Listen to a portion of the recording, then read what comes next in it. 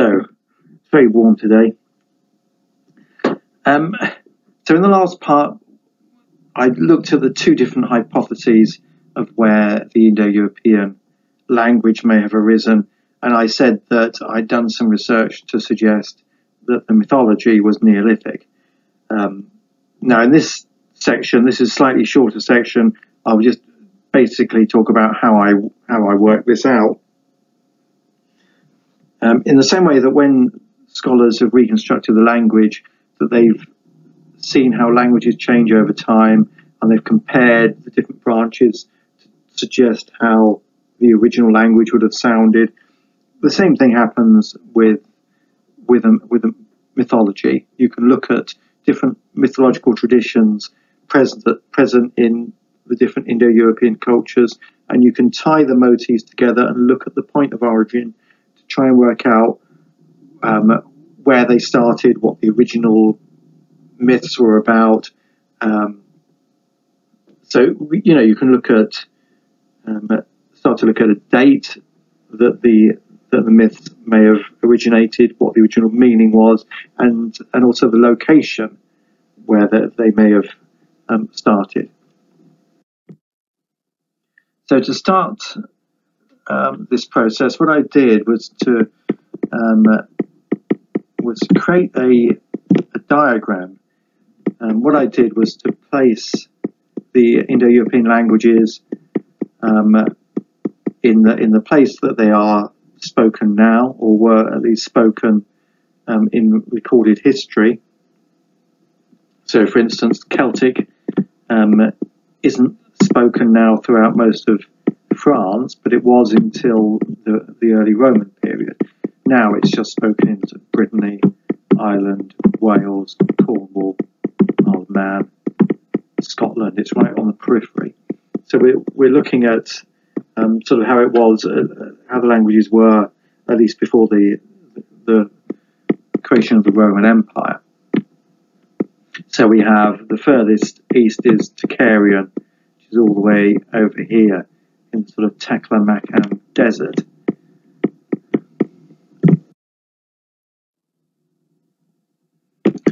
Um, what I then did was to try and um, show how um, uh, the, the different language groups had split.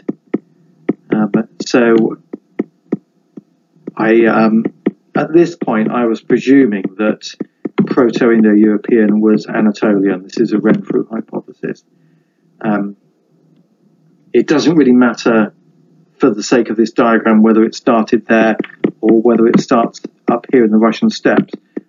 It just means we have to move this symbol sort of over either that way or that way, depending which um, which hypothesis you believe. But it doesn't actually change how we believe the the language trees split.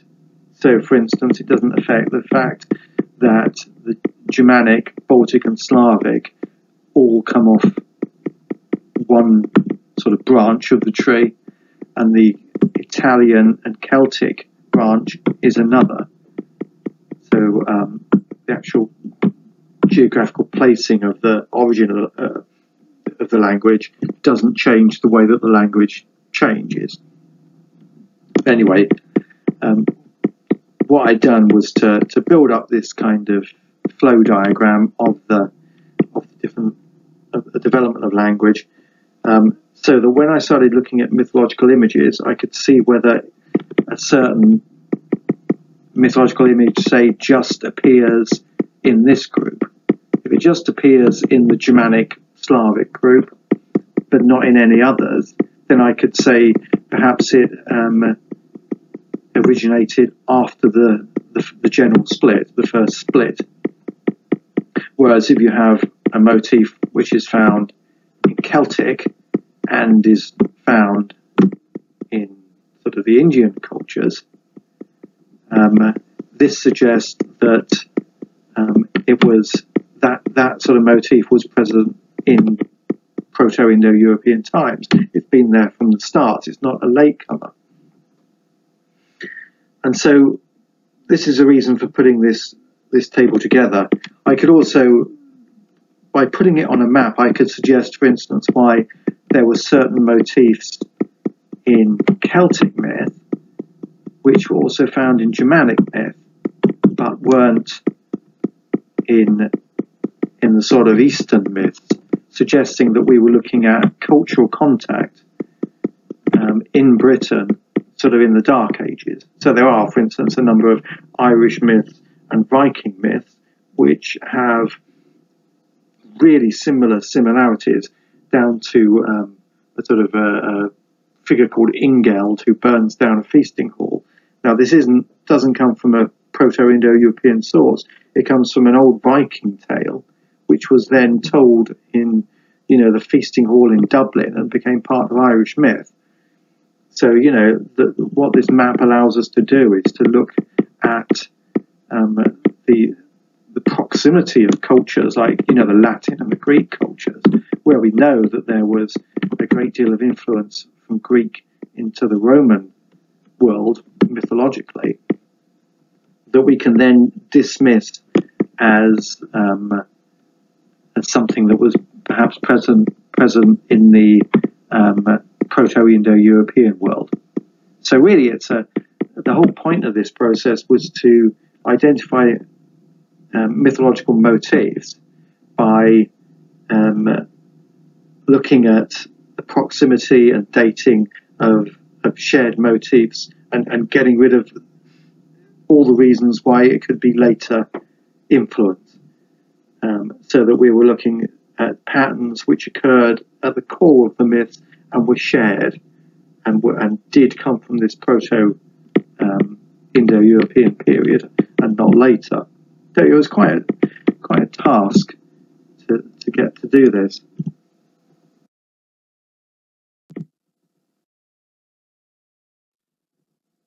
So what I did was to look at each of the language groups and to look at the existing um, mythological tales and cycles that existed for each, and then to um, look at how these had developed, whether some were copied off other bits, um, how they changed over time. So it was it was quite a task, but um, this this table here shows the different traditions coming off each of the different language groups. And for those who are interested, I can send you more details of this. Um, but I have lists of different traditions, which I'm just going to flick through now. I'm not going to read them out because it's it's a bit tedious. Um, so this these are all the different tales. Um, the size of the disc that the tale occupies shows sort of relative importance. Um, so, for instance, down here, RV is the Rig Veda. This is one of the earliest, um, sort of dates to sort of at least 1800 BC, um, some of these traditions. So that's why this has got a sort of a huge circle there. So that's one of the most important sources. Whereas we come over to the Irish tradi- traditions, um, and we have things like the Táin Bó Cúailnge, cattle raid of Cooley. That's quite a large one, but it's but there are other smaller tales which just kind of are kind of later. Um, some of the tales from the Mabinogion up in Wales.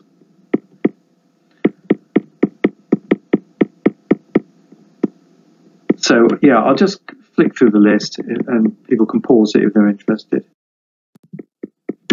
Um, so these are the main sources. I use a lot of Celtic sources because um, I was reconstructing um, Indo-European myth as it related to sites in Britain. So obviously, I was looking at Celtic sites or sites in Celtic-speaking countries to see whether there was any continuity between the the old mythological traditions and sort of even earlier Neolithic and Bronze Age ritual sites. So yeah, that's the Celtic. the Germanic sources, Anatolian, Iranian, Indic, Slavic, Greek. So that's if, if anyone's interested. And so what I would do is I would look at a certain motif. So in this case, um, let's say I can't remember what one this is exactly, but let's say it's the motif of um, the, cattle slaying or the cattle cattle theft, and I would see if I could identify it in certain cultures. So having identified it in um, sort of Scandinavian myth, Germanic myth with the death of the cow Audhumla, and then having found it in certain Irish tales, and then Welsh tales as well, and then also appears in a Greek tale.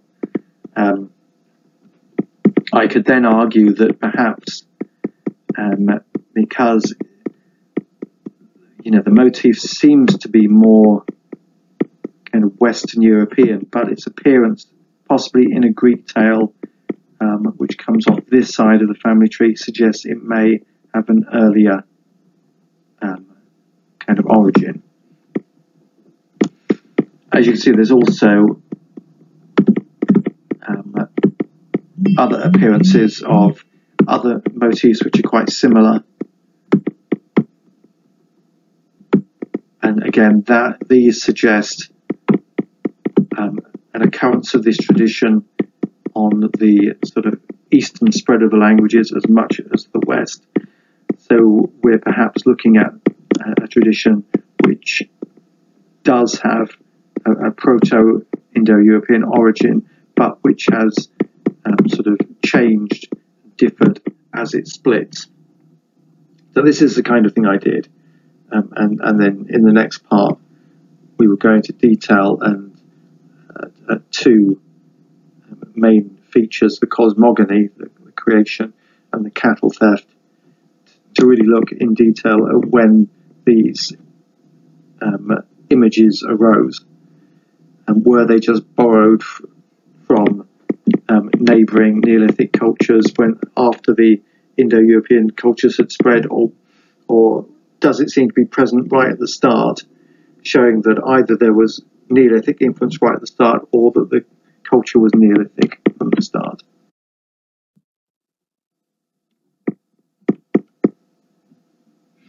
And this is just a discussion from my PhD about the relative complications and difficulties of which sources are, are good and which, you know, just because a source is old doesn't necessarily mean it's the best source. So, for instance, some of the Baltic tales, which come from sort of the 16th, 17th century, um, preserved some of the best, that's AD, preserved some of the best material because mm-hmm. that language branch is a very conservative one, and those cultures were not influenced by other sort of Mediterranean cultures until very late. Whereas some of the earliest sources, like sort of Iranian, for instance, or Anatolian, have been um, have been influenced by other cultures for, for you know almost thousands of years. So earlier doesn't necessarily mean better. Um, this is just something that I, I, had to sort of argue um, for when I was looking at the at the different mythological tales uh, and, and, sort of put them in their order of importance.